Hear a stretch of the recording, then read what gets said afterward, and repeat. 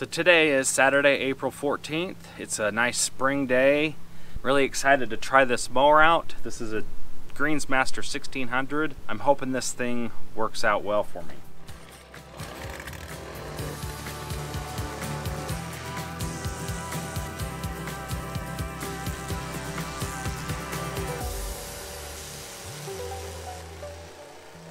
I just came through here with a string trimmer on this edge. I need to come through with a spade and clean up the edge here in the next couple weeks or something.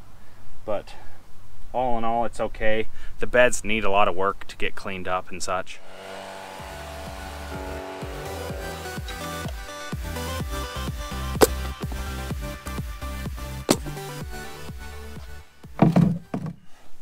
So I haven't used this reel mower yet. Just need to check the reel to the bed knife here to make sure we're cutting and that the tolerance is good. Should have light contact from here to here, about like that. So it should cut all along the edge of the reel and bed knife.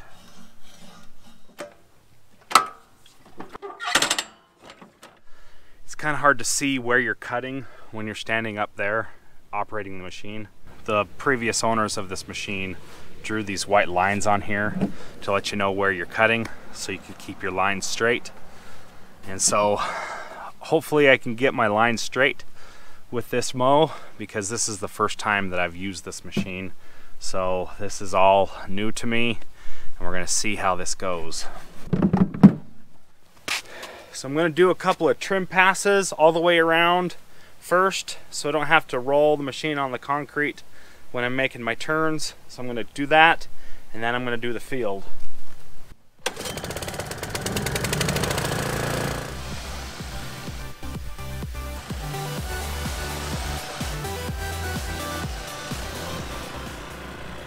So the machine's working great. Just gonna start making my passes right here through the field and we'll see how straight I can get the stripes. I'm excited about a nice wide looking stripe and we'll see how that goes. So here goes.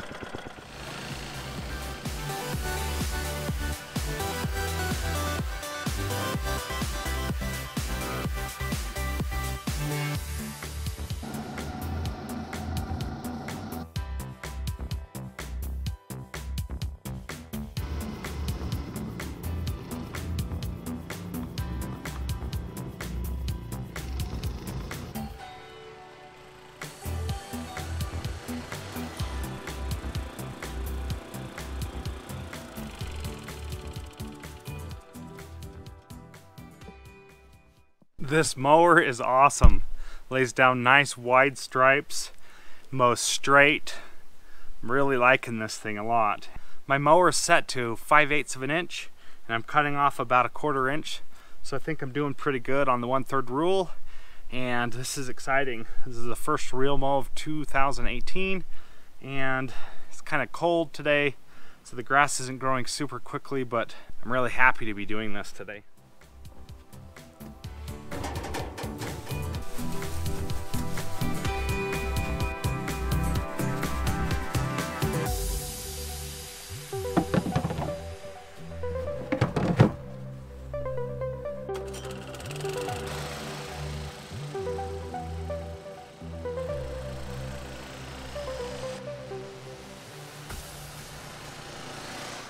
So I would say this looks fantastic. Today's April 14th, 2018. This is my first real mow of the season. This is Kentucky bluegrass with an overseeded perennial ryegrass and the mower is awesome. So still got a couple of places that still need to green up, some yellow spots and some yellow areas, but those will come right soon in the next couple of weeks when the temperature comes up a little bit. I am happy with the result and things are looking good. So I appreciate you guys watching this video and I'll see you in the next one.